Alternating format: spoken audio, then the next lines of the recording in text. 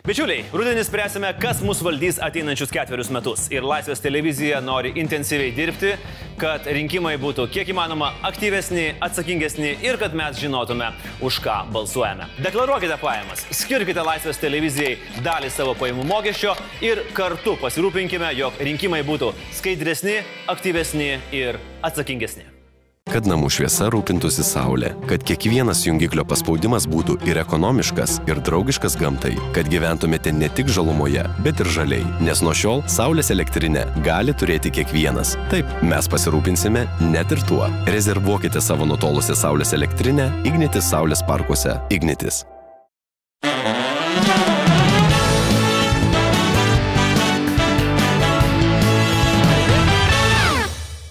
Dar vienas svečias ir šis svečias, laikykitės ten istorijoje, jau trečią kartą. Tai turbūt yra e, rekordas, bent jau kol kas, e, iš čia buvusių ant mūsų fotelio. Ir žinoma, su juo turėsime daug apie ką aptarti, nes tikrai buvo labai aktyvus ir panašu, kad netgi neturėjo laiko nueiti pažvėjoti su meškerė kur nors prie upės. Aš kalbu apie Vilniaus merą, Remigijų Šimašių.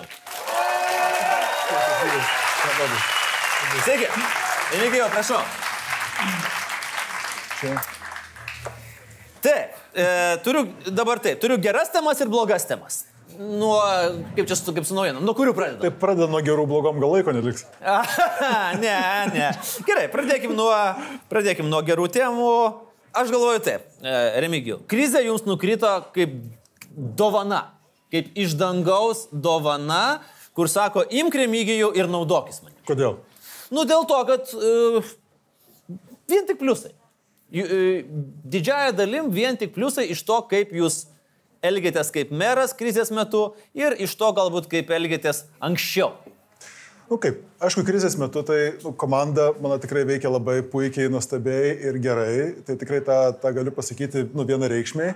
E, aišku, kad išnaudojom krizės privalumus kažkiek, bet iš tikrųjų tai buvo labai elementarūs dalykai, kuriuos tiesiog reikėjo daryti. Ir aš tai asmeniškai krizę džiaugiuosi dėl to, kad jie patvirtino iš naujo tam tikrų labai svarbių taisyklių svarbą visuomeniai. Pavyzdžiui, viena labai svarbi taisyklė yra nemeluoti. Nes mm. krizės pradžioje, man atrodo, mes ir Lietuvoje tą turėjom, ir Kinijoje turėjom, ir labai daug dėl to ir pasaulis, ir Lietuva prasileido, ar ne? Taip. Ir kai tu sakai teisybę, nu, pavyzdžiui, nu, nu neturim mes tų respiratorių, ar ne, ir apsaugos priemonių, neturim. Tai mane ten irgi kritikavo kai kurie irgi žmonės iš centrinės valdžios, sako, tai kam jūs keliat paniką, ne? Kodėl jūs sakot, kad neturit? Bet man atrodo, kad labai yra žmogiška ir natūralu sakyti, kad neturim, tai remiam pečius, nu, darom kažką. Ir aš tikrai žinau, kad tai ir padėjo išvengti blogų dalykų. Tuo tarpu tas toksai trinimas ir makalavimas ir sakymas, kad nu, viskas gerai, kai negerai, tai man atrodo ir Nu, bet, nepasiteisino. palauk, tai... bet jeigu, pavyzdžiui, sakot, neturim, ne? O tada tavęs klausia, o kodėl? nu, visą... Ir tada... Jo, tai čia galbūt ta situacija buvo tokia, kur, kur aš pats buvau to klausiančiu, o kodėl, o kaip, te, o kaip ten tik, tiksliai. Nes, va, irgi siužetas pas, pas jūs buvo apie tos rezervus ar dar kažką, ar ne? Tai kai rezervas yra įslaptintas, tai gali, aišku, daug šnekėti apie tai, kad ten visko yra. Nu, gali daug šnekėti, kad visko yra. Bet kadangi aš buvau tas, kuris klausinėjo, o tai kaip, o tai kaip, o tai kada, o dar kažką, nu kol vieną, vieną dieną paėmėm, supratom, kad nu, nėra ten mm. nieko, ar ne?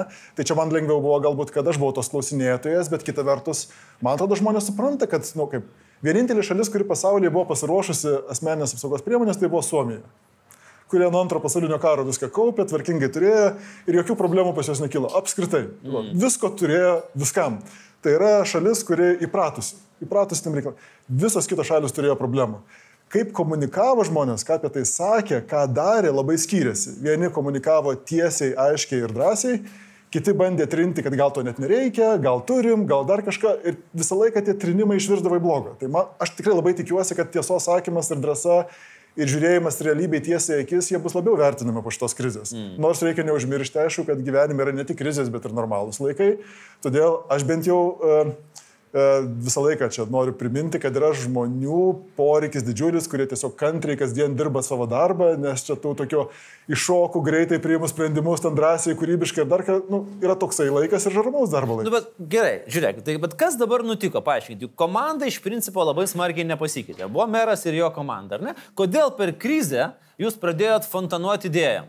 Jūs pradėjot greitai reaguoti. O tuo tarpu, nu, vis tiek buvo toksai kaip ir uh, vaikštantis pokštas, reiškia, Šimašius ir Tūja. Nu, jau žinote, tą Tūją turbūt jūs jam, jau ją sapnuoja. Ne. Ta, nu, ne, nežinot. Ne, nesapnuoju. Nu, ta, ta vienintelė nupjauta. Ten trys kokios buvo. Nu tai va, trys tujos, tai va jūs pats pripažinot, kad trys padaryti darbai buvo Vilnius, tai daugiau nieko.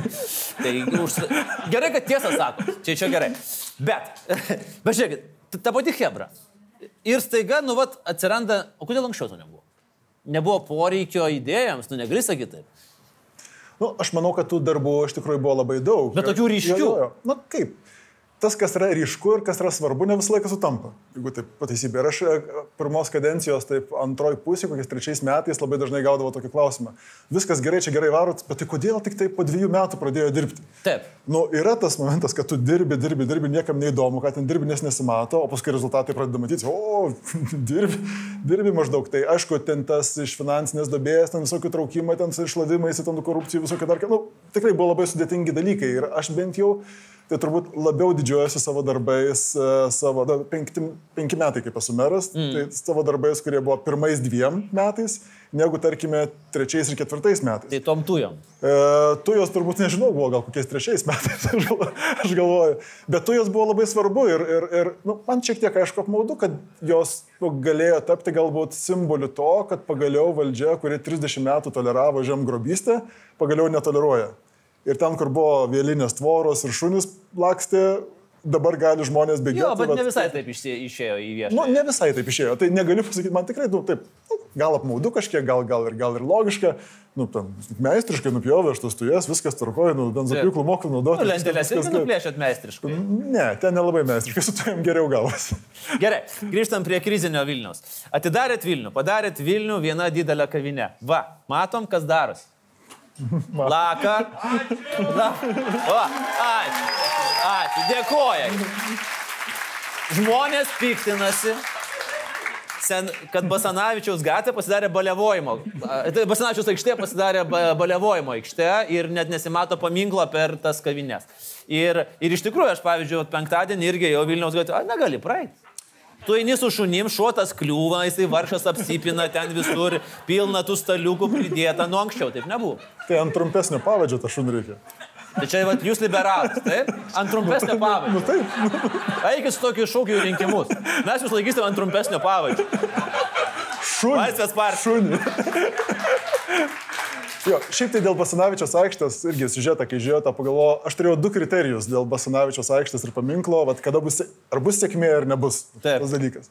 Tai vienas buvo, kad ta aikštė nebūtų tuščia, o būtų, na, pirmoji aikštė iš tikrųjų Vilniuje tokio vakarietiško mastelio, ne per didelė, ne per maža, kur žmonės tiesiog gali daryti įvairius dalykus ir, aišku, sėdėjimas prie staliukų, ten kavos ar alaus gerimas yra vienas iš tų dalykų, pilna, Taip. pilna to.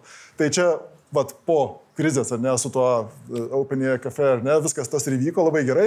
Antras toks specifiškesnis yra, tikrai galvoju, kad skulptūra bus sėkminga tada, kai kuri nors jos dalis bus nučiupinėta iki blizgesio. Tai reiškia, kad kažkas ateina ir ten nučiupinėja, nu, interakcija vyksta. Yra, yra ta O ką nučiupinėjo Basanavičiui? Ten las- lasde- lasdelė, ten yra jo visą laiką nori žmonės pačiupinėti. Yra. Dar nieko tokio. O ką, o ką jūs galvojate? Nežinau. Ta prasme, su, štai, kai Ne. Vilniui gyvatės piešia. Jo, jo, tai aš, aš norėjau sakyti, gyvačių tenai nėra. O kaip jūs pats vertinat e, gyvatę? Gyvatė, gyvatė. Ant Maskvos namų. Aš galvoju, kad prie vaistinės kur nors. Ne, ne, kitona. Nu kaip ta gyvatė? Nu, Nes aš dabar- me, meistriškai nupiešta užsikabarojo. kad- Nu, bet labai nekorektiškai. Nu kaip? Dėl to nekorektiškumo, jeigu tiesą sakant, mes turėjom tokią su Rusijos ambasadorium tokią diskusiją savotišką, dėl kurio aš šitą ir garsų į sąrašą papuoliau, kad nu, negalėsiu aš tos, lankytis tenai toje, toje šalyje. Tai nu, pats, pats, pats, patys Maskvos namai yra nekorektiški, kaip, kaip, kaip toks dalykas. Tai, tai aš tikrai, nu, kol kas pavyko padaryti taip, kad jie nestartavo kaip propagandos mašina ar ne. Mes laikom tą nu, užtvanką, turim priemonės ir, ir labai, labai gerai. Aš tikiuosi, kad jie niekada nestartuos ir tikrai persikraus. Nu, Maskvos namai yra nekorektiški. Ta, ta reikia. Taip. Nu, anksčiau galbūt, kol buvo normalūs santykiai, kol buvo Vilniaus namai, ten Maskvos namai, dar gal buvo galima galvoti. O kas dabar? Tai gerai, o tai Nu, Aš nežinau, kada tie tikrai normalūs santykiai. Paaišysim. Buvo išaušęs toksai santykių pažadas, kuris taip aušo, aušo, bet taip ir neišaušo, neužaušo normaliai. Nu, tai Kaip ir nuo kažkaip, caro Petro laikų. nu, maždaug. Jei žmonės klausia manęs apie, apie lenteles, va, paklausė, bet aš apie kitas lenteles, kur apkabinėtas tas visas Vilnius tokiam draugiškam lentelės, ne, kur rusų ar ten rusėnų turėtų būti gatvė. O tai kodėl čia pak- pakabinta? Tai aš visą laiką sakau, kad Vilnius turi tradiciją prieglopsti nuo priespaudos bėgantiems rusams suteikti. Ta tradicija yra jau 400 metų gyvuoja. Mm. Tai man atrodo, kad tas santykiai visą laiką jie buvo panašus. Ir man ta- apskritai Vilniaus toks vaizdinys kaip laisvės tvirtovės, va tokios, ar ne, kad nepasiduodam, stovim, aiškus principai, aišku kodėl. Ir tas naratyvas toksai, kai vat, mes sukilėlius laidojom, e, Taip. kaip, kaip, kaip tai atrodė, tai man atrodo, nu, mane bent jau vienas iš labiausiai įkvepiančių dalykų yra, kad jų ideologija, ką jie rašė, kalbėjo, kokie buvo jų manifestai, tai iš tikrųjų labai šio laikinė ideologija. Mm. Tai, nu, tai, kas absoliučiai tinka šiems laikams. Taip. Kai pasako, kad lietuvis yra tas, kuriam brangi laisvė ir kuris laikosi statuto, ar ne? Nu, kas gali būti šio laikiškiau? Amerika. Nu, viskas, viskas gerai šitoje vietoje. Tai man tas kažkaip Vilnius, Maskva, čia toks vis tiek, toks atrodo civilizacijų ir vertybių. Akistata. Civilization. Ir tiesą, sak, ir tiesą sakant, man, man patinka to, truputėlį tokio adrenalino, kaip ir apie šitą krizę, taip ir čia, nu, nu reikia nu, pastovėti kažkaip už tos, Tai tos patiko jums gyvati. Nu, nu gyvatė kaip gyvatė, nežinau. Nepa, nepaišykit gyvačių, nie, niekur. Gerai, grįžtant prie to uh, didelio miesto restorano, atviros kavinės, va, alaus gerimo. O gerai, kiek merų iš įmašių užtenka išgerti alaus, kad, nu, va, jau plaukai pasileistų patys. Nu, Turit kažkokią tai va, tokią normytę? Šiaip mažai. Gėda neatsakyti. Nusakykit, nes aš tai žinau, kiek jūs turite iš tikrųjų, aš turiu Ar ne? duomenis, bet aš noriu pažiūrėti, ar jūs nemelu, a, a, meluosit man, ne. Ne, ne, nemeluosiu. Man, man bokalo užtenka vieno. Bokalą. Mhm. Ir viskas jau. Aha, man plaukai pasileidžia, gerai. Tai žinokit, čia man sakė, kad pusantro. Nu, nedaug, nedaug Taip, suklydo. Nedaug suklydo. Pusantro alaus. Tai A, gal pusantro mažo. O O, o jeigu didelis, tai... dabar jūs pilstot, jums, jums pila į, į mažo, pusę mažo atneša, ne? Ne, nu pilna mažo. žinai, Atneškit merui jo įprastą. Pusę mažo ir vandens dar truputį. Bet žiūrėkit. Um, Kitas dalykas, mes bandėm uh, paklausti vieno baro savininko, ką nors, nu, ką nors tokio, žinai, Okay. apie merą. Sako, ai, meras. Nebūna jo vakarais mieste. Na, žiūrint kur. Baruose. Baruose retai. Pripaži, Retai. pri, pripažįstu retai. O tai gal reikėtų, nu, dabar jau kalbu kaip merui, kaip miesto šeimininkui, užsukt, apeit, nes e, ankstesnis tai mėgo šitą. Nu, man, man irgi tiesą sakant visai patinka, bet paskutinį kartą tokį pub crawlingą, kai dariau, tai buvo uh, prieš, uh, prieš pat rinkimų, pirmą turą. Tai ten visai netgi garsus gavosi toksai dalykas. Nes vienam tokiam legendiniam bare kažkaip užsibaigė viskas, tai visai, mm. visai taip įdomiai gavosi. tai, visą, tai, tai gal ne pusantro jau tada. Gal ir daugiau buvo, nežinau. Čia viena istorija yra iš jūsų, iš jūsų praeities su alkoholiu susijusi. Okay. Bet pasakykit, ar tai yra teisybė ar ne, nes toks įdomus man, kad buvęs, dabar aš, man, atrodo, Plunkas ar tai Tauragės meras, yra buvęs jūsų krepšinio treneris. Tauragės, Tauragės, Taur- Tauragės, Tauragės jo, meras. Ir jisai tokia turi istoriją, kad jisai jūs važiavote į Estiją su komanda varžybės. vežėtės tokį gėrimą įdomų. Buvo. Tai papasakokit, koks ten gėrimas, nes čia nėra tai, kad, žinokit, negalvokit, kad ten degtinė ralų vežėsi. Jie vežėsi pieno šampaną. Jo, ten buvo kažkoks ke- keistas gėrimas, aš nežinau, kas jisai per dalykas, netgi, bet, nu kaip, aš mokyklai buvau ir ten visi, visi mokyklai, tai kažkokia reikėjo pasilinksminti ir, nu, tokio vaikiško gėrimo visi pasivežė, bet iki Estijos užtrunka nuvažiuoti ir jisai parūgo geriau. tai ten, o ten kelios dienos varžybų ir dar jisai parūgo. tai paskui paskutinė diena varžybos buvo, kam ir sunku buvo. Iš, laipsniai la- atsirado išeit. Nu, tu taip, taip, Taip. nu, nat- natūralūs procesai, Dievo dovana, rūgimas. Nu. Taip, nu. at- Nu, va, puikiai. Bet kas tas pieno šampanas, aš tiesą sakant, nežinau. Kažkas kaž, kažkur. Nu, treneris davė gal- gerti ir gerėt. Nu, Nu, man tada jisai nustebo ten, tada, kai jau neatsikėlė kažkas į varžybas. nu duodam pieno, kok ten kažkokį ir ne. Nu. Mišinį žmonės gatavi vaikšto. Įdomus variantas. Gerai, o pavyzdžiui. Ar nėra tokio nerimo, kad vat, viską taip liberalizavus, atidarius kavinės, paleidus, nu, vat Vilnius garsės kaip va tokia gerykla. Ne. Ne. Ne. Nes pusantro ir viskas. O kaip įdomu, tai duok, duok, duok, duok dievę, tai kas kiek nori, tas tiek vartoja, tai čia nu, sveikata gydyto ir dar kas nors tai skirtinga žmonių, ir pomėgiai, nu, nori, bet kažkaip, nu, man nepatinka, kai kitą dieną galvas skauda, nu, ką, Mm. ką aš galiu padaryti. Apie atostogas Vilniui. Vėlgi, nauja idėja, vėl, aš kaip sakau, vat, iš fontanuoja Pra, prasprūdo kažkaip, tu iš- išsprūdo. Aš sakau, tokius jūs laikėt, jas maišė, uždarė, laikėt, laikėt, laikėt ir po to pabėgo visos idėjas, nes tikrai labai įdomus sprendimas paversti Vilnių visko tokiu miestu, ar ne? Iš kur šitą idėją atėjo ir kaip, kaip, kaip jūs tai padarysite, nes kol kas ten tik tai taip Nu ryškiai kaip, piešta. tas idėjas, aišku, irgi yra komandinis darbas. Nu, labai daug žmonių prie to prisidėjo. Mano, pavyzdžiui, protas veikia tai gana matematiškai. Taip, nu, taip at- atrodytų gal ir nuobodžiai kartais, bet, pavyzdžiui, tas e, Open Air cafe, ar ne, tai jisai grinai matematiškai veikia. Ne? Vyriausybė paskelbė, kad jau bus galima čia laukia to, kažkaip tai prisėsti. Bet sąlygos tokios ir tokios ir tokios. Nu, nu, neįs, neįsitenka, ten išneša baras du staliukus ir viskas, jokio verslo nėra, nu, ten padavėjo, nesugražinsi darbą, kad nu, nieko nesigaus.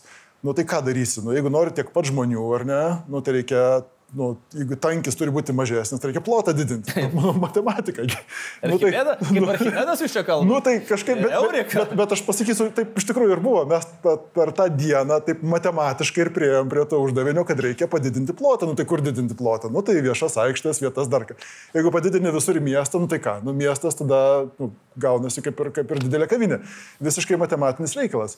Su atostogom, tiesą sakant, panašiai. Nu, tai žmonės nori atostogauti, ar ne? Taip. Nu, nori naujų įspūdžių, patirti kažką, nori kažką išvykti ir pakeisti.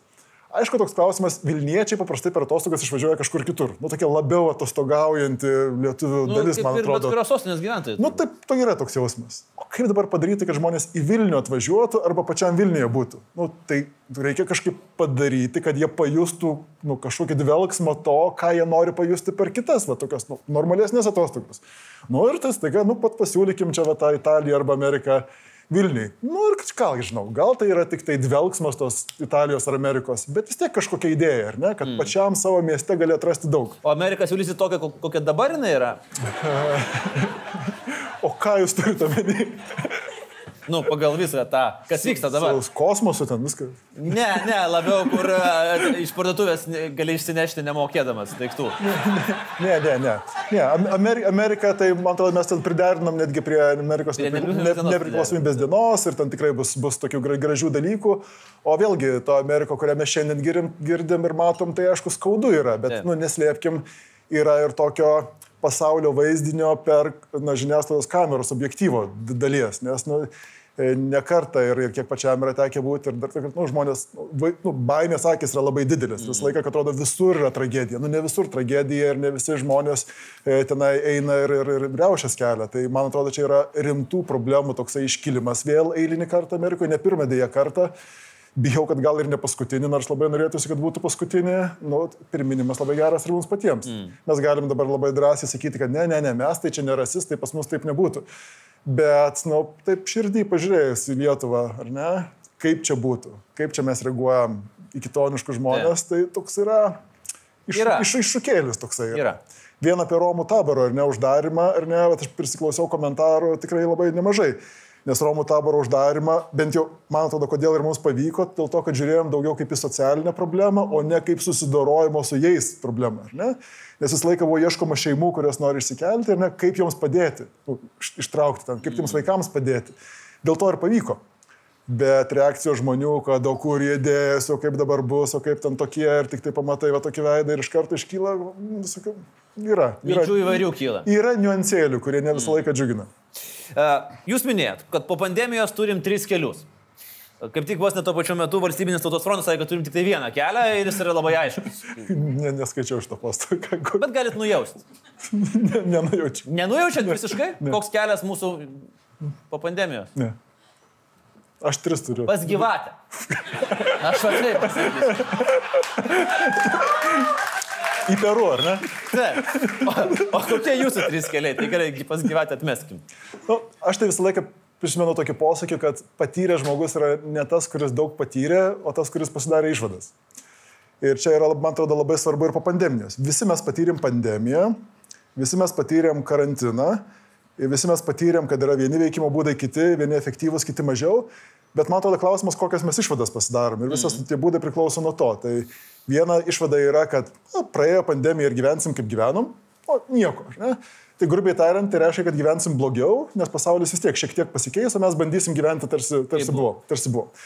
Kita išvada yra, kad čia bandysim atsigriepti ir nu, maždaug prigausim tuos, kurie čia biški paserdė per tą pandemiją, čia gal ir tas Vilnių paskelbė, gal ir to kavinę atvirą. Nu, tok, biurokratijai buvo sunkesni laikai pandemijos metu, pripažinkim. Žmonės taip kažkaip gal nu, nemėgo tokio sąstingio, ne kūrybiškumą labiau vertina tai po pandemijos yra tikimybė, kad tas biurokratija gali atsigriepti, nes jinai, nu, gai yra.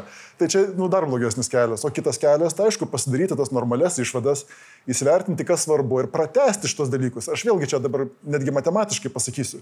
Mes tikrai galim Lietuvoje didžiuotis ir Vilniuje jo labiau, kad, pavyzdžiui, elektronizavimas yra tikrai aukštam lygiai. Su draugais nesenai kalbėjau Anglijoje, pavyzdžiui, kovo pradžioje gimęs vaikas, iki šiol neužregistruotas, neturi ten asmens kodo, pas mm. gydytoją nėra kaip, ne, nu, nes nu, neveikia. Nėra. neveikia. Lietuvoje visos paslaugos veikia ir netgi mes bent jau Vilniuje išnaudojom tai taip, mes susiskaičiavom labai tiksliai. Paslaugas buvo 145 paslaugos, kur įstatymai reikalavo fiziškai ateiti asmenį. Daugiausia socialinės paslaugas. Visas jas padarėm, kad galima distanciniu būdu teikti. Tai aišku, gera išvada būtų ta, kad ir po pandemijos galima tą padaryti. Ir, nu, lyg ir pavyksta taip. Aš tikiuosi, tikiuosi kad pavyks. Mm. Vat, nu, kad ir apie elektronizavimą tą. Bet čia ne tik elektronizavimas. Yeah. Čia ir apie tiesos sakymą, ir apie drąsą, ir apie kūrybiškumą, ir apie viską. Nu, nu. baigiant gerąją dalį, tai manau, kad paėjo. Gal, gal pabūnam dar, ką? Ne, ne, ne, pabūnam, jau užteks, jau išeikim, išeinam iš gerosios dalies, nes tikrai kortą paėjo. Manau, kad tikrai sulaukėt gerų žodžių ir iš publikos, ir, iš, ir už idėjas ir panašiai. Tai čia ties to ir sustokim. Nu, nuo ko čia dabar pradėti? Nu, gerai, nuo šitos istorijos pradėsim. Ta prasme, kaip? Kaip jūs Aš sugebėjot sumokėti 300 tūkstančių eurų bičiui, kuris tuo pačiu metu sustabdė Kauno rajone ir sušaudė verslininką, atėmė iš jo laikrodį ir bandė pagrobti mašiną. Ir kuris neprekiauja ventiliatoriais. Ir jūs jiems sumokėjot 100 procentų į priekį. Ir jūs jums jų neatvežėte ventiliatorių. Ir neatveš niekada. Jo, ir pinigų, ir pinigų nepasims. Tai va, tas, tas yra svarbu. Jo, čia klausimas, kaip, ką žinau, galiu pasakyti. Nu, Tiesiog paprastas klausimas, kaip? Žinot, e, man, man vis tiek per pandemiją buvo tokios militaristinės, tokios e, nu, semantikos daug, ar ne? Nu, čia kova, čia dar kažkaip tai. Nu, ir yra iš tikrųjų tokio dalyko, kad kai esi mūšio laukia, ne visą laiką darai taip, kaip būtų taiko sąlygom normalu. Nu, ir, ir teko kartais tokius dalykus daryti. Ar protingai ar neprotingai, iš dabarties situacijos žiūrint, aišku, neprotingai. Tuo metu atrodė, kad tai yra vienintelis kelias, nes mes skaičiavom visai kitas galimybės. O kas, jeigu pareina ta blogoji banga, ar ne? Ir ministerijos e, ventiliavimo aparatų pirkimas tai yra pateikimas e, skaičiaus ES, kad mums reikia 400.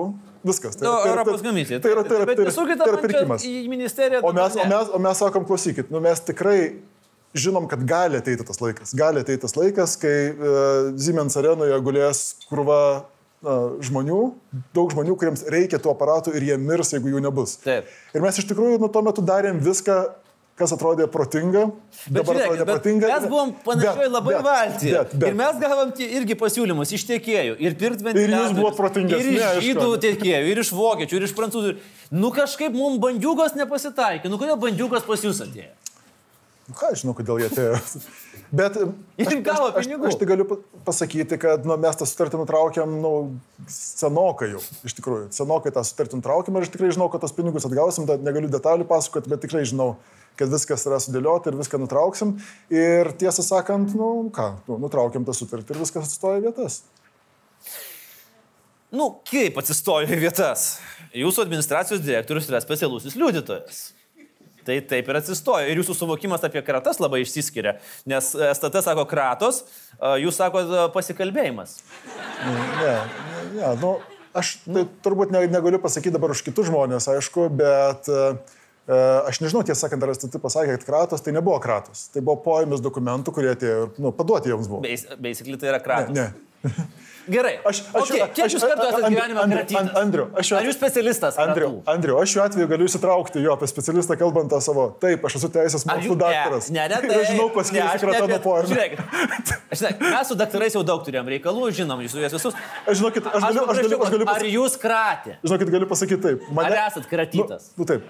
Pas, pa, Čia dabar labai atsargiai pagalvoju. Lab- Atsai, aš tik pasakysiu pirmą sakinį, tik norėčiau, kad neiškirtumėt jų po, po pirmo, nes paaiškinti antrą. Oi, labai gerai. Pasiruoškit.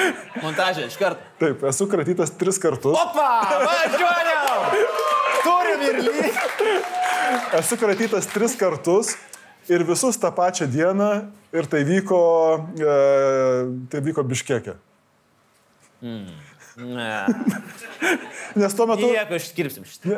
Nes, nes tuo metu tai buvo toks labai keistas dalykas. Ten, ten, ten, ten va, žmonėms atrodo, jeigu yra baltas žmogus, baltaodis, ne europietis, ir jis ten atvažiavo, tai jisai nu, tikrai nėra kažkoks ten beprotis, kuris atvažiavo ten po kalnus laipėti, ar ne, ten, ten alpinistas ar dar ką. Nu, jis tikrai atvažiavo čia kažko tai pasivartoti. Ventiliatorių pardavė. Nu, ne ventiliatorių, ten yra ten visokių rutuliukų ir kitų dalykų. Tai, tai, Kokių rutuliukų? Nu, tokie, nu, aš nežinau, šarikai vadindavosi. Nežinau, kaip. Aš kur žinote? Tu, nu, aš žinau, nes mane kratė, nes ieškojo šitų dalykų. Nu, ne, nerado, džiaugiuosi, kad nerado, bet... bet Tad taip gerai paslėpėt? nu, nu, Na, va, laisvės partijos, randa, normalu. Normalu. Ne, tai žiūrėkite, jeigu jūsų nekratė, tai jūs ir nežinot, kas yra krata. nu, tai mane sakau, tris kartus kratė. Bet biškiekė, Lietuva. ne. Gerai, e, e, o surimtėjant truputėlį. Pavyzdžiui, dabar toks trupučiuką, čiučiut rimtesnis klausimas. Ar jūs galite pasakyti, bet viešai, taip, aš šimtų procentų pasitikiu savo administracijos direktoriumi Povilu Padersiu, kuris yra skaidrus. Taip, šimtų procentų pasitikiu visą savo komandą. Ok. Bet dabar tada keliaukim prie kito, kito dalyko.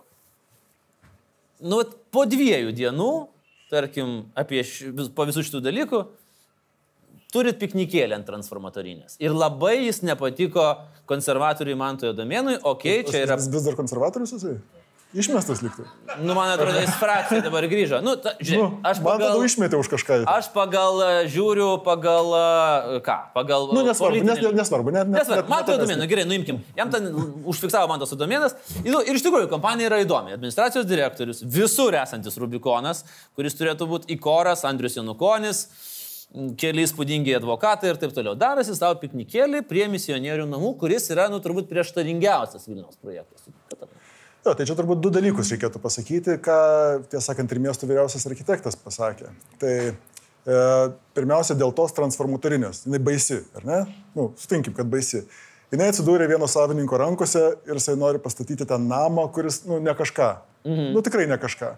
Tai mano supratimu, ir aš tą istoriją žinau, kad ten norima kažką pastatyti ir kad ne kažką, tai yra savivaldybės tarnautojų ir mano komandos taip pat pareiga padaryti viską, kad ten, jeigu bus statoma, jeigu yra teisė statyti, kad būtų nei pažeidžiant reglamentų ir kad būtų iš tikrųjų geras dalykas ir geriausia, kad konkursas būtų, o ne tai, kad ištraukiam kažkokį ten tokį e, Janukovičiaus vilos mažą kopiją ir ten, nu, įpaišom. Bet- Bet... Tai aišku, ir vėlgi klausimas, o kaip tu gali užspausti tą savininką, jeigu tai jau prastai šnekant. Ir čia, vat, būtent, aš tą noriu galbūt žodį pas, pasakyti, kuris gal tinka, netinka, čia nežinau, bet užspausti savininką ir tikinti, kad tu vis dėlto daryk taip, kaip miestui bus geriau.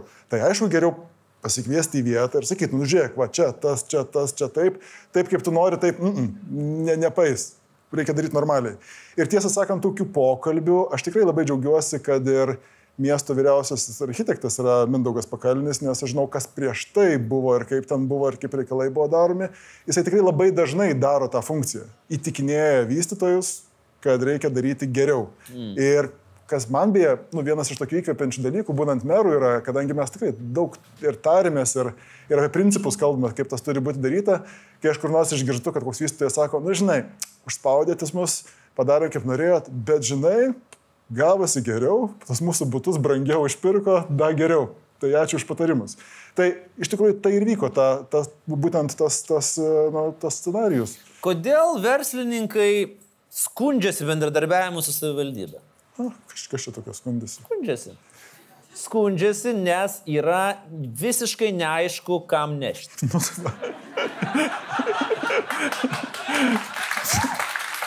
Bet žiūrėkit, dabar jūs jau galvojate, kad aš jums komplimentą sakau. Aš esu Tai ne tai, kad, ne, ne tai, kad niekas neima. Neaišku, kam nešti. Anksčiau buvo aiškiai, labai žinojo, kam ir kur ir kiek. Ir sakė, dabar yra chaosas, nieko nesuprantam, kur ir kiek, nes vis tiek reikia. Reikia nešti. Tai va, tokį prašė perdut. Ne? Tai dabar aš turėčiau pasakyti kažką, Nu, kur nešti?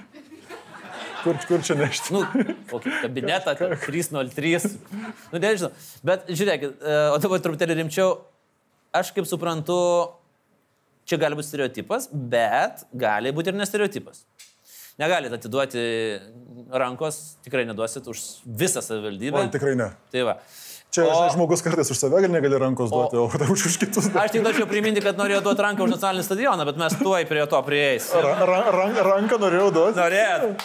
Blemba. Norėjot. Gerai, kad aš, aš buvau beveik jūs užlaužęs per vieną mūsų pokalbį. Beveik, beveik, beveik. Nes jau dabar būtų beva. Tuoj grįšim, tuoj grįšim prie nacionalinio stadiono, čia yra perliukas mūsų pokalbio be abejo. Tai aš jau grįšim. laukiu to Tai ko, ko jau čia? Mes jau 30 metų Nu, laukiam. ne tai, kad... Ne tai...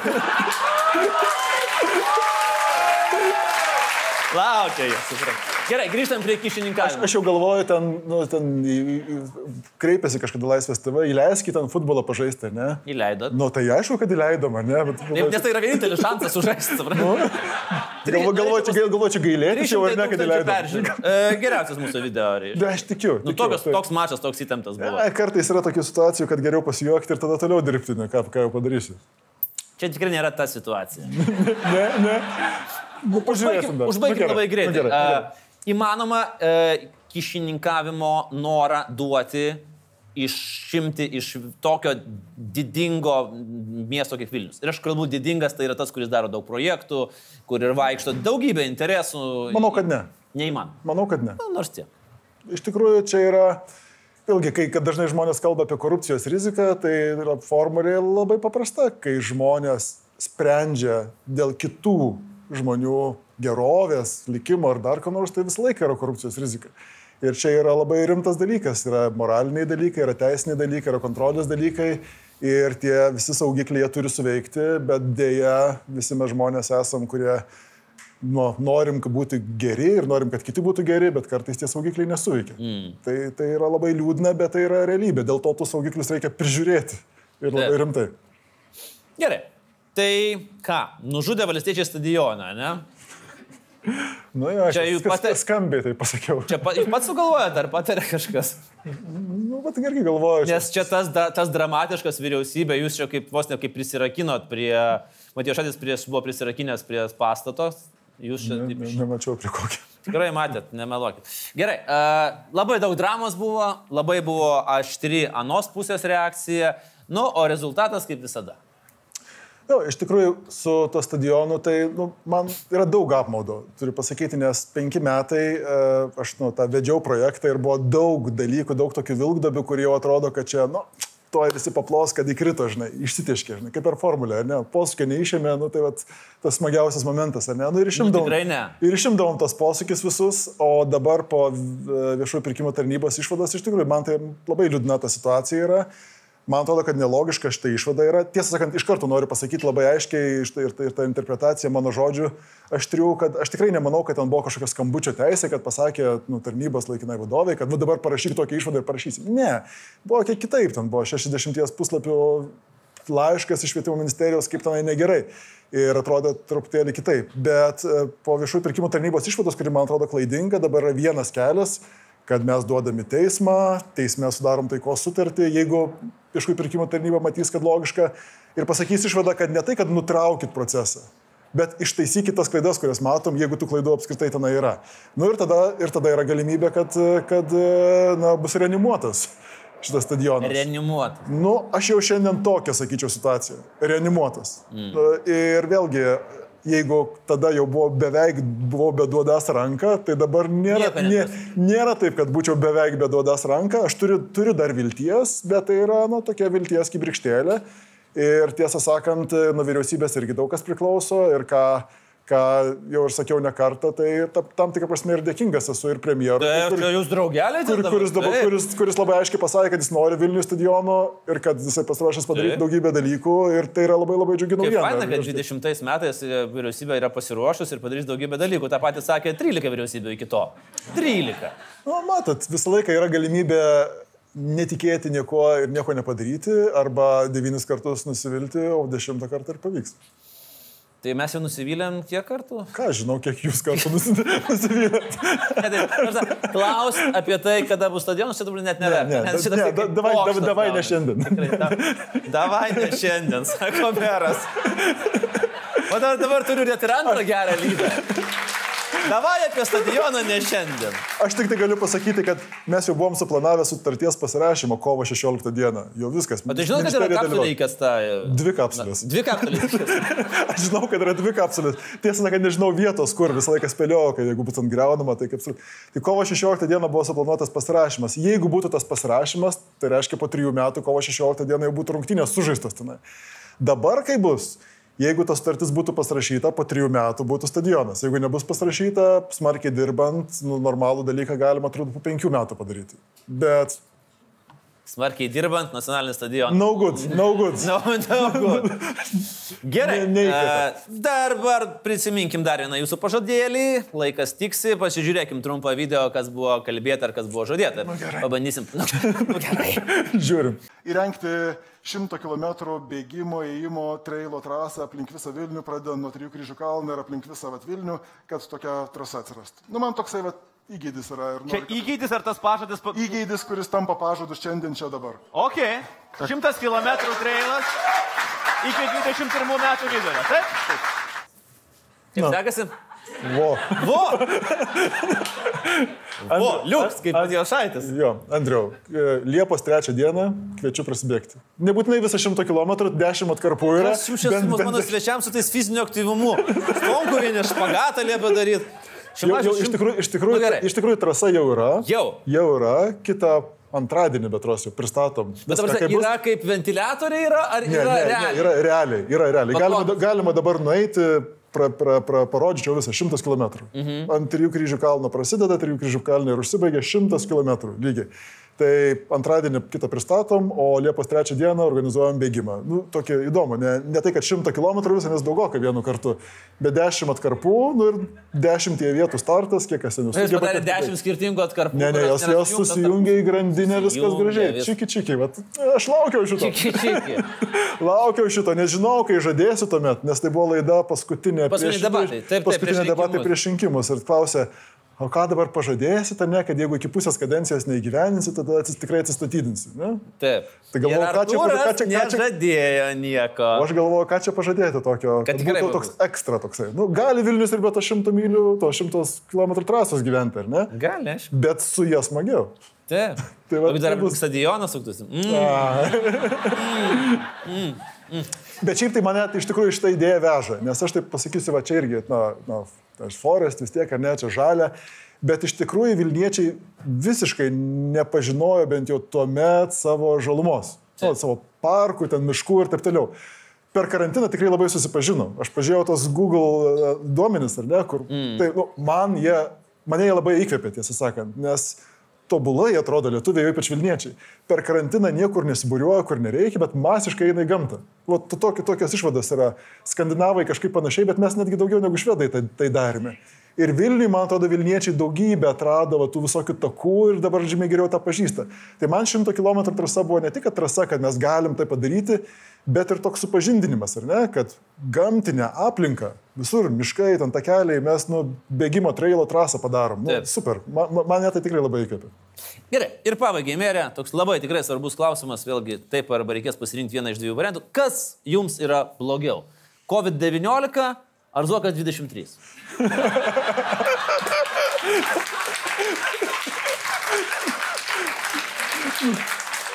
Žinot, aš paskutinį kartą turbūt darželėje būdamas sulaukiau tokio klausimo. O Tokio klausimo? O kaip, o ne, kaip tau geriau, ar kad sušaudytų ar pakartų? Neži, nežinau, nu, ne, nėra atsakymo iš tokius klausimus. Kodėl dar Nu, ne, ne, klausimai ne, klausykit, buvo. klausykit, klausykit. Ne, dabar čia palauk. Sovietiniai laikai sunkus. Aš turiu atsakymą į tą klausimą, supratau. Kal, žiūrint į ateitį, tai aišku, COVID-19 visiškai nebaisu, nes jau praeitis. COVID-21 galbūt ir baisoka. O Zogas 23 jau, bus, va, jau prigavau. čia. Taip, taip, visiškai apitafė. Nu kągi, uh, Remigijau, tikrai įdomu bus pamatyti, ką dar padarysit su tuo mūsų miestu. Dėl stadiono čia viskas aišku, čia viskas aišku, su ventiliatoriais aišku. Nu, būna, kad pataikot, būna, kad nepataikot, bet iš tikrųjų smagu buvo matyti Vilnių. Kaip Vilniečiai man buvo labai malonu matyti, kad neišėjot meškeriot. Gal nemokat. O jūs meškeriojat? nu, kaip, prieš kokius 3-4 metus sunus sako, nori išmokti žvejoti, ar meškerioti, nežinau kaip čia. Nu gerai, tai reikia tą meškerę pirkti ir man išmokti tada. Išmokau, bet tada sunui nustoja patikti, tai tą meškerę taip 3 Tai metai, pasiseka. 3 metai ir guli kažkur. Nu, va, yra žmonių, kurie per, pirko meškerės ir jiems gerai sekėsi. Bet aš manau, kad Vilnius sekėsi tikrai gerai ir aš manau, kad smagu, kad ir kiti miestai pasiekia Vilnius pavyzdžių. Ir Vilnius galės iš kitų miestų kažko pasimokyti. Vienareikšmė. Labai ačiū. Ačiū labai. Ačiū. Ačiū. Remigijus. Remigijus Šivačius šį vakarą buvo čia. Gerų ir blogų naujienų pokalbėje. Ačiū.